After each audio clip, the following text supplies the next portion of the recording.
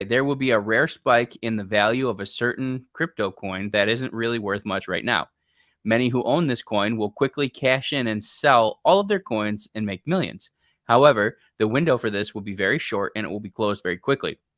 So basically, what this is is there's like you know how there's usually flash crashes on like Coinbase or whatever wallet, you know, there's like a flash crash where everything goes down to like thousands of dollars or pennies on the dollar or so forth.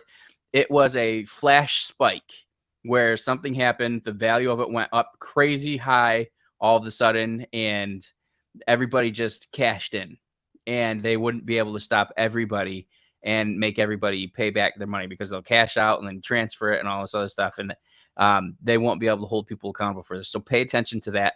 I don't know what the coin was. I don't have any hints or clues. The Lord didn't tell me that's something that you're going to have to discern.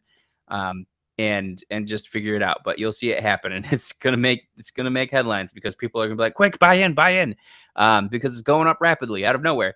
Uh, you might get lucky and catch it, but pray and discern it from the Lord.